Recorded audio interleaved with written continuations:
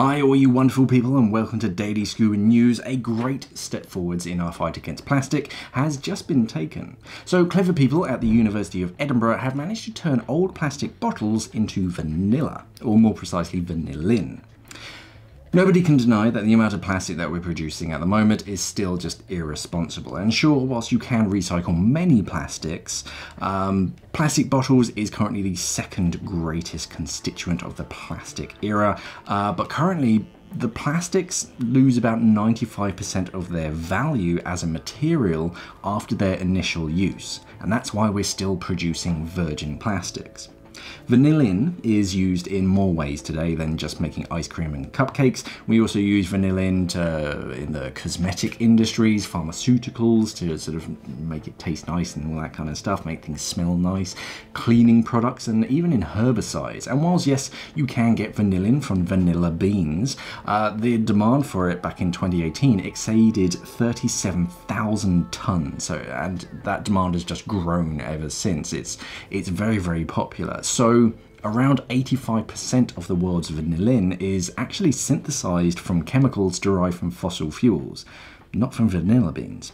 And that's where this new method makes things interesting. So instead of using fossil fuels, the researchers managed to upcycle plastic waste, PET, and convert it into its component parts, and then convert those component parts into vanillin. Right now, just 14% of the world's plastic bottles are actually recycled, and all they really do with them is just turn them into fibres and turn them into clothings or carpet. By developing an enzyme that chops up the plastic into its component parts, mainly terephthalic acid, uh, TA, and then exposing that TA to a modified E. coli bacteria, don't worry, it's perfectly safe, it's just E. coli but reprogrammed to do something productive for once, they managed to convert 79% of that TA into vanillin. All they needed to do is to uh, sort of mix it all together in a kind of sludge uh, and then warm it up to 37 degrees Celsius for about a day and kind of stir it around and it's done. That way they can turn something that was considered a low value waste product into a high value resource, vanillin.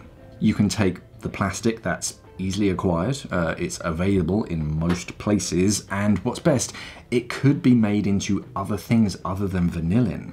With more research and different bacteria that are programmed to make other things, they could use a similar method to make other things from plastic bottles. Now all we need to do, uh, after we've figured out what to do with these plastic bottles, is to continue to recycle properly. Uh, if you are trying to recycle your plastic bottles, please remember to remove that silly loose plastic label from your bottles. That bit isn't recyclable, just the body of the bottle itself. Uh, try and wash them out properly as well so they're nice and clean. And then after that, uh, we need to find something to do with the loose plastic bags uh, and the rest of the plastic junk that we're still producing. But hey, at least now we've figured out something to do with plastic bottles. But what do you think? Did you know that 85% of vanillin that we use today is actually made from fossil fuels and not vanilla beans? Uh, does that change your view of vanilla and would you worry about it being made from plastic bottles?